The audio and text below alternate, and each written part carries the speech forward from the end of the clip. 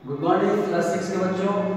आज मैं आप लोगों को हिंदी व्याकरण की किताब से एक चैप्टर पढ़ा रहा हूँ।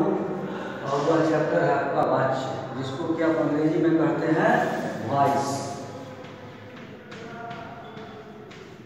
जिसको कि आप अंग्रेज़ी में वॉइस कहते हैं, हिंदी में इसी को वाच्य कहा जाता है। ये वाच्य क्या है? तो सबसे पहले वाच्य में देखिए आपको कुछ बातों को पहले से आपको जानना होगा।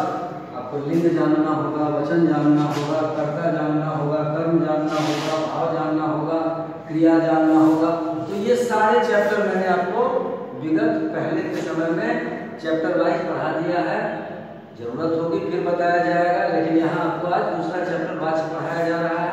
तो सबसे पहले आप देखिए कि क्रिया के जिस रूप से, क्रिया के जिस रूप से, क्रिया क्या है? तो विकारी शब्द है।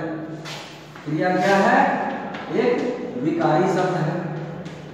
यह विकारी शब्द का मतलब क्या होता है? जिसमें विकार हो, जिसमें विकार हो या बदलाव हो या परिवर्तन हो या जो रूप बदल ले लिंग के आधार पर अपना रूप बदल ले, कर्ता कर्म के आधार पर अपना रूप बदल ले, काल के आधार पर रूप बदल ले। तो जब क्रिया के जिस रूप से यह पता चले कि वाक्य में उसके लिंग आ गए यहाँ पे वाक्य में उसके लिंग तथा वचन का प्रयोग कर्ता कर्म या भाव के अनुसार किया गया। है तो उसको हम वाच्य कहते हैं। अब यह वाच्य तो वाच्य आपके तीन तरह के होते एक होता है कर्तृवाच्य, दूसरा होता है कर्मवाच्य और तीसरा होता है भाववाच्य।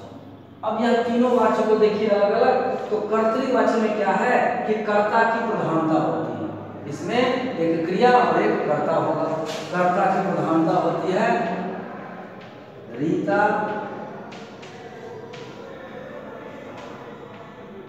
नाचती है। ये कर्तृवाच्य है, क्योंकि नाचने का काम रीता के द्वारा होता है, रीता प्रधान है, कर्ता प्रधान है। अब इसी को जब हम कर्म कर्मवाची में देखेंगे तो यह कर्म क्या है?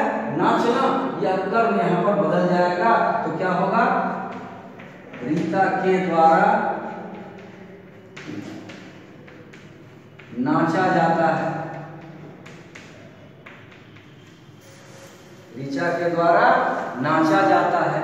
लेकिन जब हम भाव भाववाची में देखेंगे तो यह वही भाव नकारात्मक रूप में, निषेधात्मक रूप में प्रयोग किया जाएगा।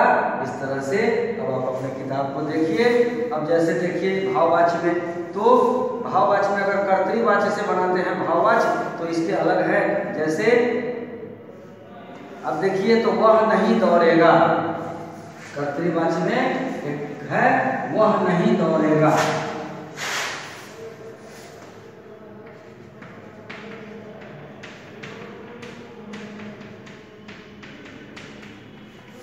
उसके द्वारा क्रिया का संपादन नहीं हो रहा है, जबकि यहाँ यह कर्तृवाची में है तो यह तो सही है। इसी को जब हम भाववाची में बनाएँगे तो होगा क्या?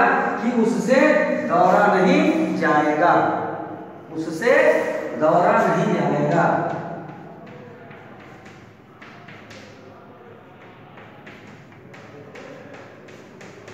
अब देखिए इसमें, अब उस, यहाँ है वह नहीं दौड़ेगा यह डिसीज़न है। निर्णय है, वह नहीं दौड़ेगा। लेकिन यहाँ क्या है, उसी निर्णय में कुछ कारण आपको दिखने लगता है। उससे दौड़ा नहीं जाएगा। क्यों नहीं दौड़ा जाएगा? उसके घुटने में दर्द होगी, उसके कमर में दर्द होगी, उसको भूख लगी होगी। और इस तरह से आप इस चैप्टर को पढ़िए, बनाइए, कहीं दिक्कत हो तो फिर आप कंटेक्ट